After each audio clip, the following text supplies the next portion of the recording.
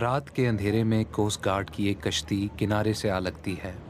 اس پر سوار انسان ایک غیر معمولی سفر طے کر کے یہاں پہنچے ہیں۔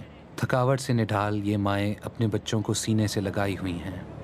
اس بچے کو ابھی احساس نہیں ہے کہ اس کی ماں کتنے خطرے پار کر کے اسے یہاں لائی ہے۔ سمندر کی وسعتوں کے پار ایک ایسا سفر جو اس جیسے ہزاروں بچوں اور بڑھوں کو زندہ نگل چکا ہے۔ شام سے آنے والے یہ تقریباً سو تارکین وطن اب یورپی حدود میں محفوظ ہیں۔ لیکن دوسری کشتیوں میں ان کے ساتھ جو چلے تھے یار، وہ شاید کبھی نہ ملیں۔ لاشوں کی تلاش کرنے والی کشتیوں کے یہ انفراریڈ مناظر ہیں۔ کل رات اس بے رحم سمندر میں کہیں نہ کہیں سات سو جانیں ہمیشہ کے لیے کھو گئیں۔ اس حادثے میں صرف اٹھائیس لوگ بچ پائے۔ اب ان کے سامنے ان کے ساتھیوں کی لاشیں اٹھائی جا رہی ہیں۔ خواب کچھ اور تھے اور منزل کچھ اور۔